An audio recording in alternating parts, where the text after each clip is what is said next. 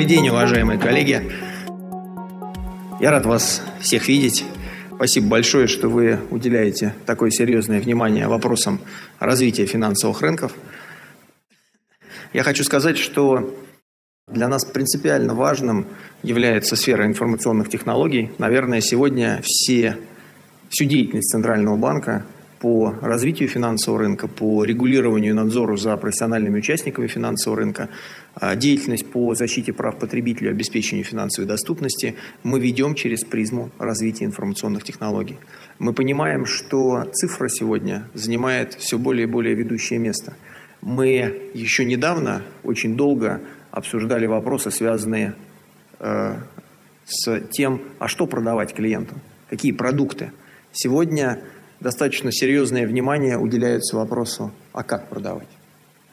И если буквально еще вчера мы не могли расстаться с бумагой, то сегодня мы понимаем, что бумага существует, но она является а, неким таким уже, а, знаете, прошлым. То есть это то, что существует, но то, что будет уходить в небытие, и, наверное, со временем все быстрее и быстрее. А, я хотел бы начать свою презентацию с вот этого первого слайда, который говорит о том, что во всем мире признана, признана необходимость работы с киберрисками, управления такими рисками, как киберриски, выстраивание системы управления рисками, подстройка системы управления рисков под такой новый риск, как киберриск. И вы видите здесь статистика, заключения разных международных организаций, их доклады, стандарты, и все они говорят о том, что сегодня а, киберриски, киберпреступность выходят на первый план среди тех рисков, которые мы видим и которые стоят перед мировой экономикой. В рамках реализации наших функций по развитию финансового рынка, по регулированию участников и защите прав потребителей, знаете, что мы сделали документ по а, основным, а, сделали специальный документ под названием «Основные направления развития финансового рынка на период 2016-2018 годов». И если мы сегодня посмотрим там те 10 основных а, направлений развития, которые вы можете, вы можете увидеть в левом столбце, то вы практически к каждому направлению сумеете применить термин информационные технологии, сумеете применить термин киберриски.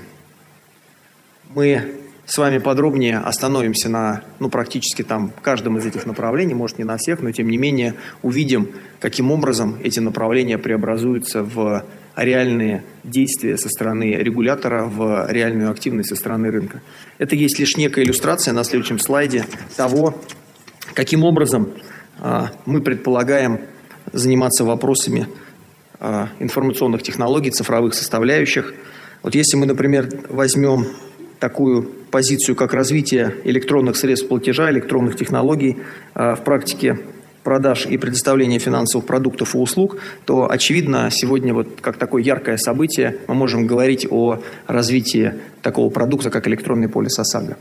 С 1 января 2017 года данный продукт стал обязательным для страховых компаний, которые осуществляют деятельность на рынке ОСАГО. А это означает, что они сегодня обязаны любому потребителю этот продукт предоставлять. Но с учетом того, что вы знаете, у нас достаточно сложная ситуация с убыточностью в ряде регионов а, на рынке ОСАГО, то задачей Центрального банка, задачей а, службы по защите прав потребителей, департамент страхового рынка является а, обеспечение непрерывности деятельности сайтов страховщиков, через которые потребитель может эту услугу приобрести. То есть вот это такой яркий пример того, когда информационные технологии, они с одной стороны, порождают огромное количество возможностей и перспектив для профессиональных участников финансового рынка. Не нужно держать офисы продолжать, не нужно держать армию агентов, все можно, все услуги можно предоставить через интернет, но возникают вместе с тем и серьезные проблемы.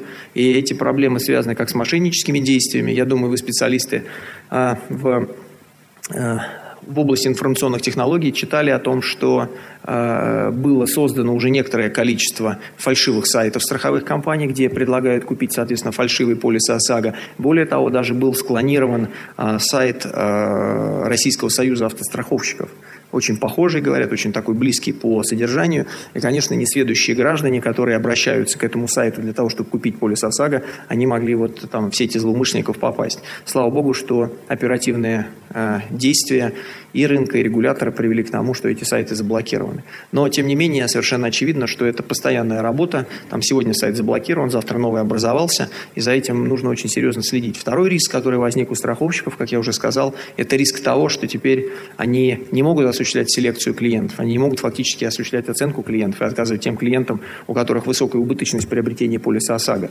Одно дело, ты пришел в офис страховой компании, тебя поставили в очередь через три недели, иди дождись ее. А другое дело, ты зашел на сайт и имеешь полное полное право незамедлительно купить полис ОСАГО. А еще один риск появляется, он, наверное, уже меньше относится именно к, к информационным технологиям, но он фактически затрагивает всю цепочку фактических и юридических действий по приобретению полиса ОСАГО. Это проверки органов дорожной полиции, органов э, э, да, дорожной полиции, проверки э, наличия полисов ОСАГО. Законодатель установил, что если полис куплен в электронном виде, то э, физическое лицо просто должно предъявить этот полис. Не обязательно на том бланке строгой отчетности, который э, был раньше, это может быть просто компьютерная распечатка. И вот уже обнаружилось ряд случаев, когда сегодня а, сотрудники дорожной полиции, они говорят, ну раз у тебя нет вот этого бланка строгой отчетности, вот мы там знать ничего не знаем, мы там не читали наши инструктивные письма от э, руководства Министерства внутренних дел, поэтому вот мы тебя штрафуем. А, задача, конечно, и орган, федеральных органов исполнительной власти, Центрального банка а, навести порядок в этом направлении, потому что иначе доверие потребителей будет падать к этому виду продукта.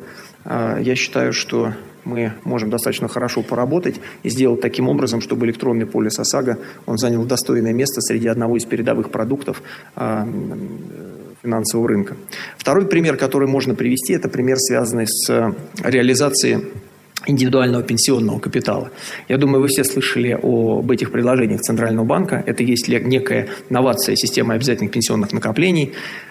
А, и в рамках этих предложений, в рамках концепции индивидуального пенсионного капитала предлагается создание, а, предлагается создание пенсионного администратора.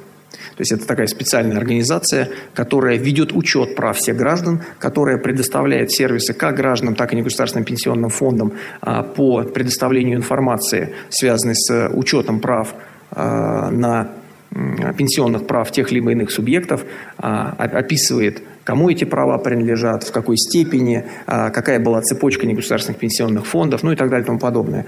И а, совершенно очевидно, что деятельность такого пенсионного администратора, он сегодня еще не создан, вот, идут дискуссии, да, на базе чего создавать, там, может быть, на базе, я не знаю, какого-то федерального органа исполнительной власти, может быть, там на базе какой-то госкорпорации, кто-то говорит, давайте создавать отдельное юридическое лицо, это, это сейчас вторично. Важным является другое, что совершенно очевидно, что эффективная деятельность пенсионного администратора, она может строиться только на безбумажных технологиях, только на них. Вот сегодня огромное количество проблем, которые имеет Пенсионный фонд России, а, который сегодня ведет учет всех прав застрахованных граждан, связано как раз с тем, что там очень много бумаги и мало автоматизированных систем. Или, скажем так, автоматизированные системы децентрализованы, а, наверное, там в части являются устаревшими, ну и так далее.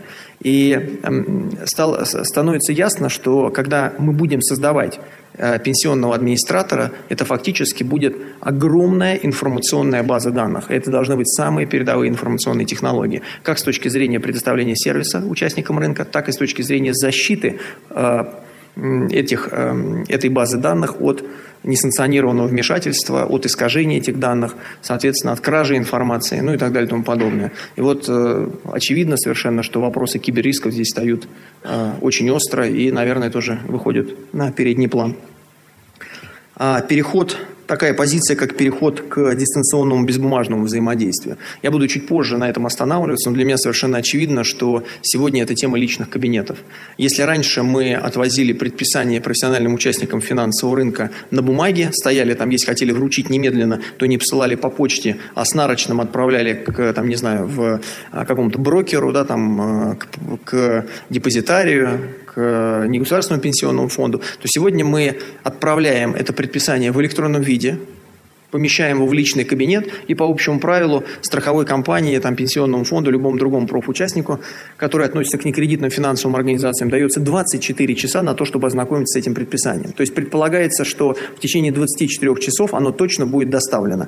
Соответственно, а, с одной стороны, это упрощает всем жизнь. Да? То есть мы снижаем административные расходы регулятора, мы снижаем административные расходы профучастника, которому не нужно там ездить на почту, поддерживать этот э, сервис, э, и, и, соответственно, э, профучастник несет меньше расходов. Но, с другой стороны, совершенно очевидно, что встает серьезный вопрос о поддержании в актуальном состоянии этих личных кабинетов.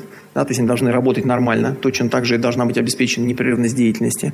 Центральный банк должен научиться защищать информацию, и мне кажется, у нас это получается, потому что вот информация о тех атаках, которая была на личные кабинеты если не ошибаюсь, по-моему, страховщиков, она в прошлом году фактически закончилась ничем. Ну, то есть там какие-то там, какой-то минимальный урон был нанесен, но очень слабый. И этому способствовали превентивные действия по выстраиванию системы защиты и быстрое реагирование. Но в любом случае мы сегодня опять переходим в цифровую плоскость. Становится понятно, что э, бумажный век, он уходит в прошлое, и все те риски, о которых мы в будущем будем говорить, это ровно риски э, вмешательства в информационные технологии, ничего другого. Давайте двигаться дальше. В рамках основных направлений развития финансового рынка вопросы повышения финансовой грамотности занимают одно из ключевых мест. Стало понятно, что граждане не успевают за теми изменениями, которые происходят на финансовом рынке. Да что там граждане, даже корпорации фактически сегодня очень часто не могут обеспечить должный уровень понимания тех финансовых инструментов и тех финансовых процедур, которые им предлагаются. Я не знаю, в курсе вы либо нет, но вот сегодня э, рассматривается несколько судебных дел относительно продажи профессиональными участниками финансового рынка юридическим лицам, обращаю внимание, не физическим, а юридическим лицам, то есть тем, кто ведет профессиональную деятельность предпринимательскую, неких сложных финансовых продуктов. И судебное разбирательство пока исходит из того, что а, продавцы, то есть профучастники рынка ценных бумаг, не раскрыли всю информацию и не объяснили всю сложность продукта и то, как он функционирует покупателям, потребителям финансовых услуг. Еще раз напомню, это не физлица, это юрлица. И э, говорит, что в общем и целом есть злоупотребление, есть так называемый мисселлинг. А что уже говорить о физических лицах? Они, очевидно, являются некой слабой стороной. И помимо а, того, что для них необходимо раскрывать информацию в самом-самом общем виде, то есть я имею в виду самым широким образом, и необходимо наверное, а, может быть, там дополнительно административно оградить физических лиц от сложных и структурированных продуктов, то вторым шагом является, конечно, повышение уровня финансовой грамотности.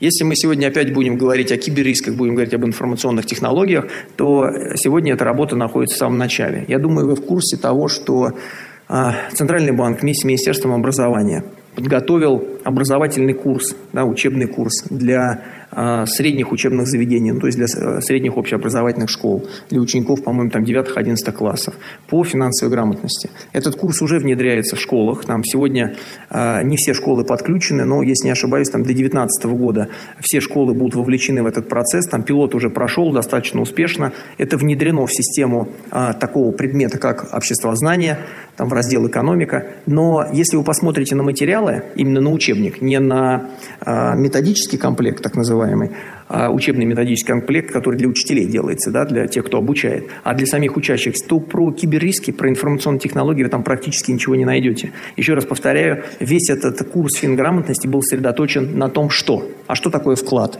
А что такое облигация? А что такое там ценные бумаги? А э, сегодня становится понятно, что не меньшее внимание должно быть уделено вопросу «как?». Как эти продукты продаются? Как вы за них платите?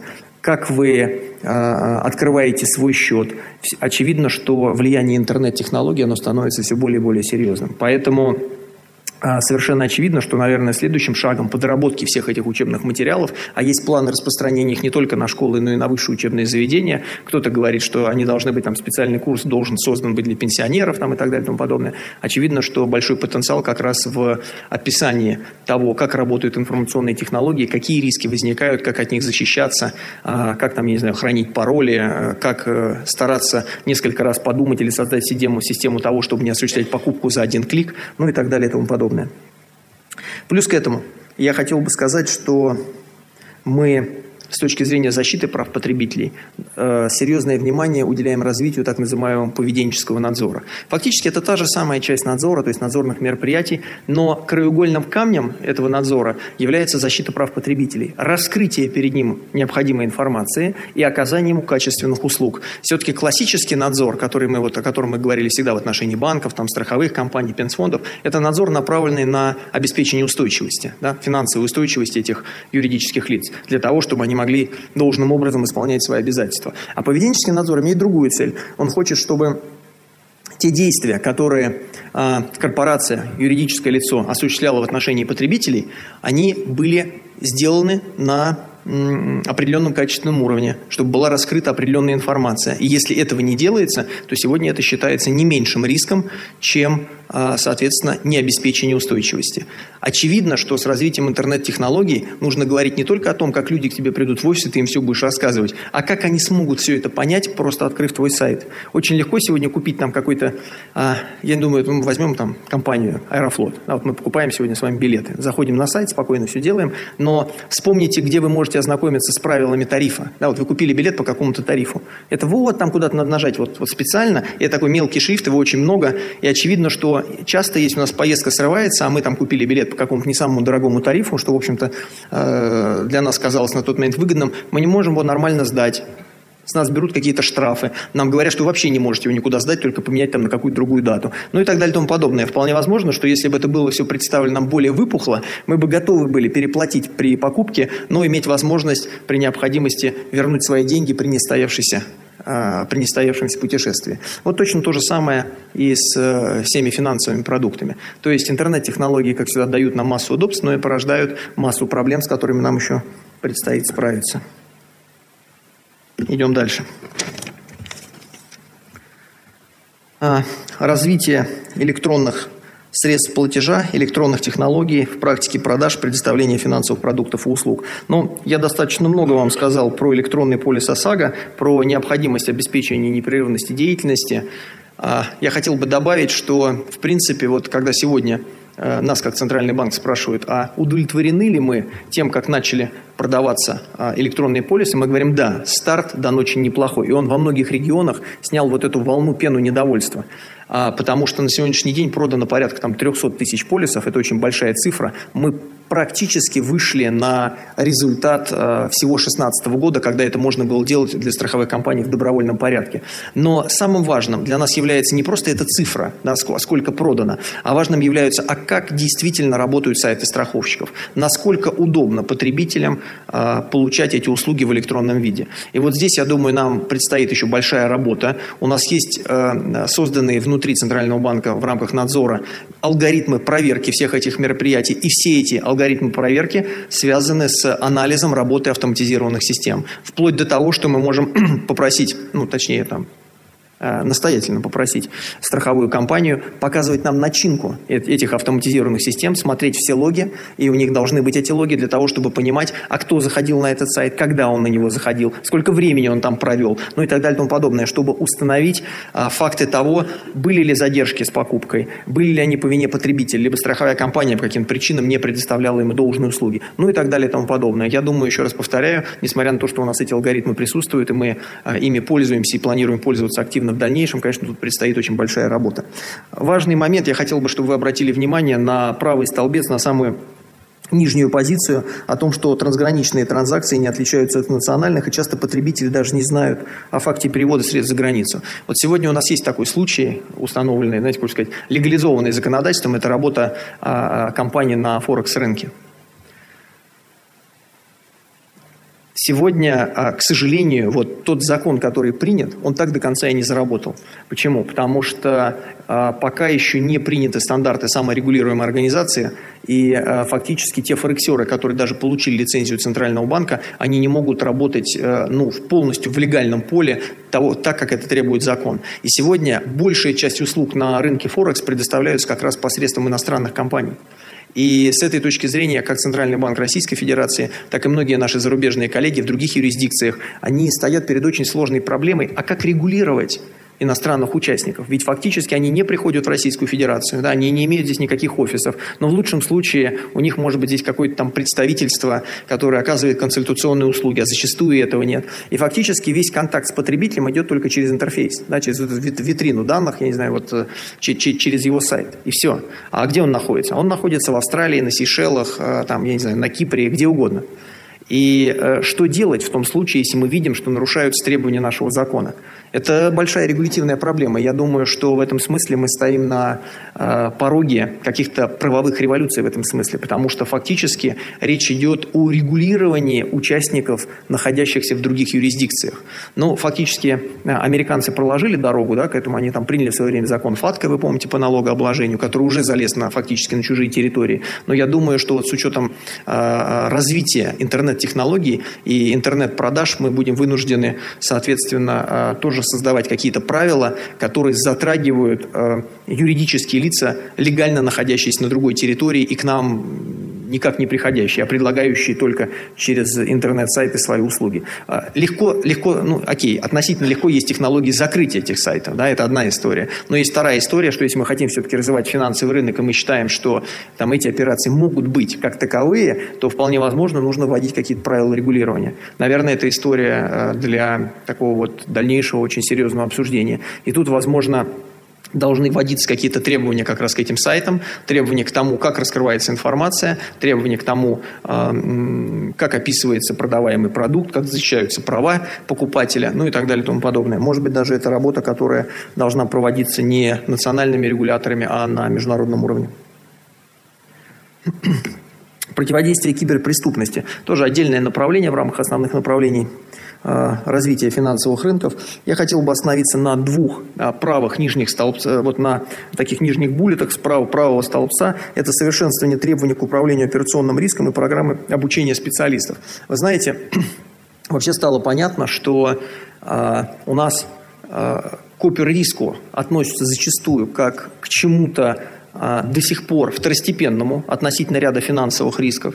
А уж более того, даже если говорят об опер-риске, очень редко его там как-то подробно делят на всякие подриски и э, специально регулируют. Наверное, это вот э, тот случай, когда имеет смысл пересмотреть подход как регулятора, так и участников рынка, потому что на уровне саморегулирования тоже можно сделать очень много, и, соответственно, заняться вопросом регулирования операционного риска, вопросом придания ему большего значения и, в частности, с точки зрения противодействия киберпреступности. А, мне кажется, есть неплохие наработки у Центрального банка – мне кажется, что мы можем с участием наших саморегулируемых организаций на финансовом рынке получить хорошую синергию и сделать правильные продукты, которые а, будут подвигать профессиональных участников финансового рынка, наши финансовые компании к тому, чтобы а, специальным образом определять у себя политики и процедуру управления той частью операционного риска, который связан с киберрисками, с мошенничеством, с киберпреступностью. Есть смысл задумываться о необходимости наличия специального персонала в этих компаниях, который занимается вопросами э, кибермошенничества, борьбы с кибермошенничеством.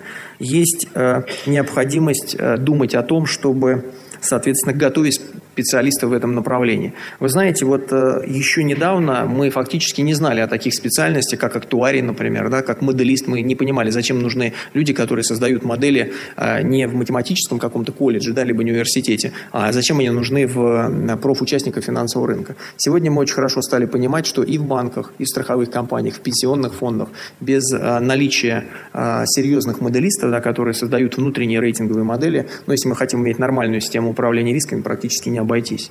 Точно то же самое касается и специалистов по борьбе с э, киберпреступностью. Знаете, вот вообще э, есть несколько таких жизненных примеров, э, когда там ряд проблем такого рода и не решены у нас образование очень часто не кастомизировано. Мы выпускаем юристов, мы выпускаем экономистов, а вот Центральный банк очень долго мучается на тему того, а где бы получить такую профессию, как надзорщик. Да, например, то есть человек, который осуществляет надзор за профучастниками. Такой профессии нет. Или, например, мы имеем дело с медицинским страхованием. Я общался с ректорами некоторых там медицинских вузов, экономических, а, они мне говорят, можем тебе либо экономиста дать, ну там финансиста, либо доктора.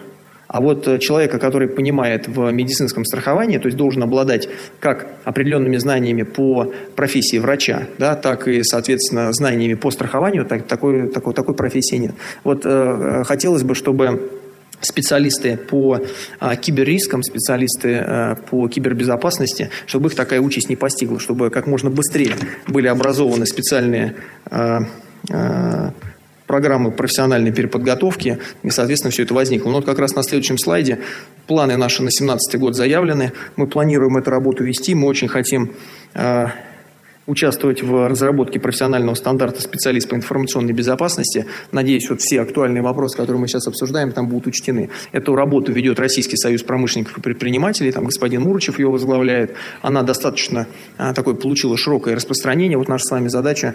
А, там, кстати, они открыты для участников рынка.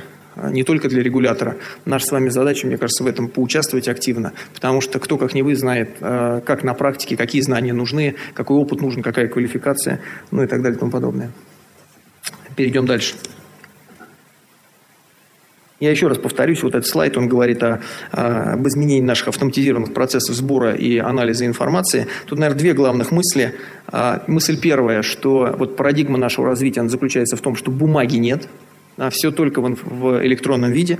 Тема вторая – все только через личные кабинеты. И перед нами как раз стоит задача подключить к личным кабинетам не только не кредитные и финансовые организации, они уже там, но и банки, кредитные организации. Как, как э, показала практика, это очень удобная форма. Но одновременно с этим э, встает вот э, две, две сложности, или, скажем так, два риска, которые нужно решать. Это обеспечение непрерывности деятельности личных кабинетов и защита данных, которые в этих личных кабинетах находятся.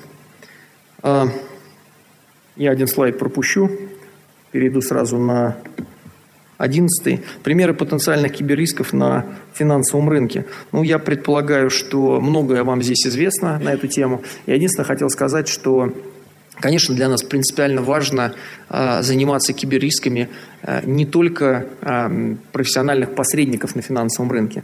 Вопросы борьбы с киберрисками в инфраструктуре финансового рынка, на уровне инфраструктуры финансового рынка, на уровне организаторов торгов, на уровне депозитариев, то есть фактически огромных комплексов баз данных, они являются критическими.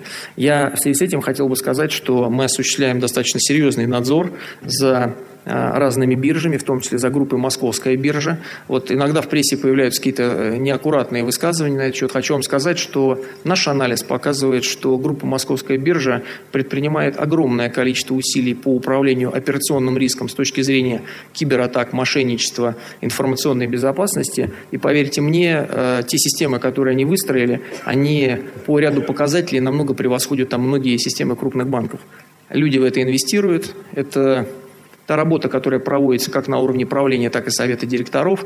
Так что будем надеяться, что а, наш крупнейший организатор торговли, если можно выразиться, keep pace, да, то есть он а, идет в ногу со временем и пытается, соответственно, соответствовать а, всем а, передовым информационным технологиям. Я, наверное, на этом закончу свое выступление. Еще раз хочу сказать, что вот если еще вчера тема финансового рынка и киберпреступности, она шла как-то параллельно, то для меня очевидно, что сегодня это одно поле, это одна сфера, и наша с вами задача, с одной стороны, развивать финансовый рынок за счет информационных технологий, предоставляя широчайшие возможности а, как населению, так и корпоратам, но с другой стороны, сделать все возможное, чтобы все те формы мошенничества, все формы преступности, которые через информационные технологии сегодня развиваются, чтобы они были купированы максимальным образом. Спасибо за внимание.